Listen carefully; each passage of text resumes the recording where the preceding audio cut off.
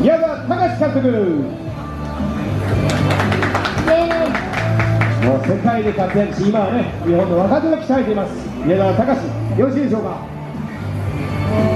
それでは宮沢選手宮沢監督のトライです。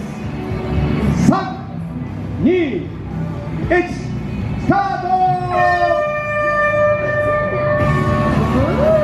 さあ宮沢さんもちろん現役時代が抜群だしもうね降りてから2年ですからね。いや早いっすよ。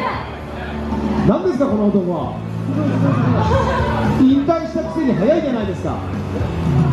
さあ素晴らしい。やっぱりこの辺りの流れに乗ってるこの選手のうまさですよね。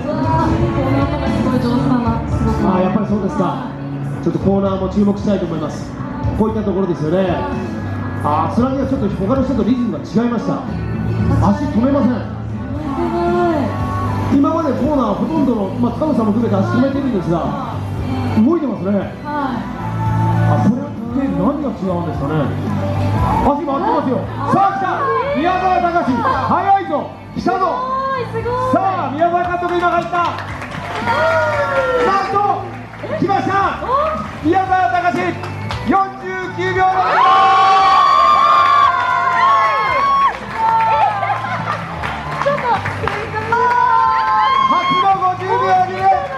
初の50秒切り宮沢隆さすがですね。宮沢さん50秒切りました。まあ50秒切れるやつはかかってこいって感じですね。あの30分までここで弱気だったんですけど。や いやでもねめちゃくちゃきつかったです。っぱきついですか？でもイメージトレーニングが、まあ、勝利の要因ですね。はちなみにあの宮沢さんだけが5回以降のコーナー全部漕いで回ってます。いあ本当ですか？そうですよね。ありがとうござい。ますこの辺りもやっぱりタイムを稼ぐ。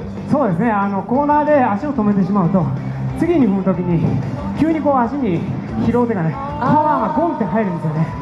じゃなくて回しながら回しながら加速していくと緩やかに加速していかれるんで、なるほど。これですよ塚越さん。はい。次はいけますね。はい次は回してみますありがとうございます。ありがとうございますではあの宮沢さん最後はもうね若手2人に勝ってますからはい。決勝でもお願いしますよ。わかりました。頑張ります。宮沢隆監督です